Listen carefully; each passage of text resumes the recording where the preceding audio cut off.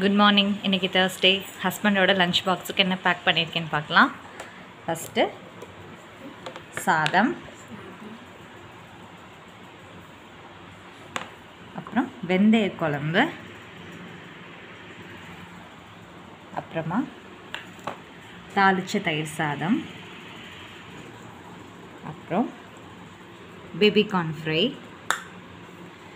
அப்புறம் அவரோட ஸ்நாக்ஸுக்கு ஆரஞ்சு பழம். அவ்வளோதான் இன்றைக்கி லஞ்ச் மறக்காமல் சேனலை சப்ஸ்கிரைப் பண்ணுங்கள் வீடியோவை லைக் பண்ணுங்கள் கமெண்ட் பண்ணுங்கள் நாளைக்கு என்ன லஞ்சுன்னு பார்க்கலாம். பாய்